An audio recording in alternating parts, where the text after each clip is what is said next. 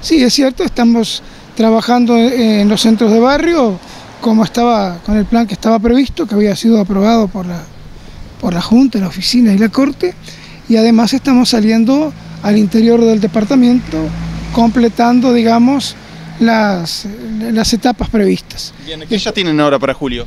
Ahora tenemos este, para tambores el día sábado, hoy estuvimos haciendo los contactos con las autoridades locales, con, con Ledia San Cristóbal, estamos conversando con las autoridades de la escuela para la divulgación, para por lo menos que promuevan la actividad.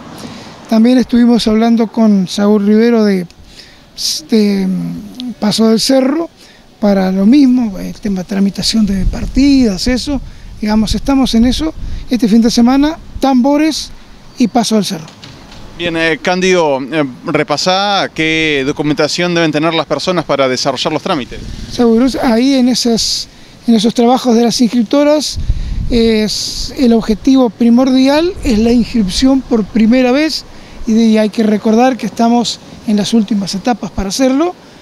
Eh, con la partida de nacimiento, con la cédula y no tiene costo. Piden la partida de nacimiento en las oficinas municipales y van con la cédula y esa partida y no tiene costo. También se hacen traslados, eh, para nosotros es importante el tema traslados para, digamos, reordenar nuestro padrón electoral. Eh, el traslado tiene un costo, van con la credencial vieja o con la cédula y con 200 pesos y también el trámite se realiza allí. Y también se hacen renovaciones con un costo de 200 pesos. Bien. Te voy a cambiar de tema. ¿Es verdad que se están planificando recortes para la oficina inscriptora móvil que puedan bajar el número de recorridas que están desarrollando habitualmente? Sí, es así. Nosotros estamos en negociaciones con la Corte.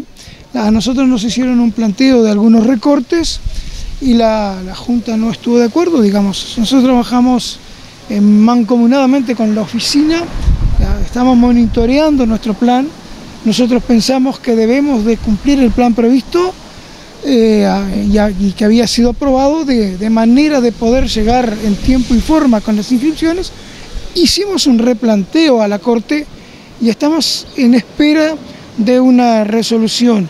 Digamos, nosotros creemos que debemos de, de acentuar, digamos, intensificar el trabajo buscando en tiempo y forma las inscripciones, sobre todo las inscripciones nuevas.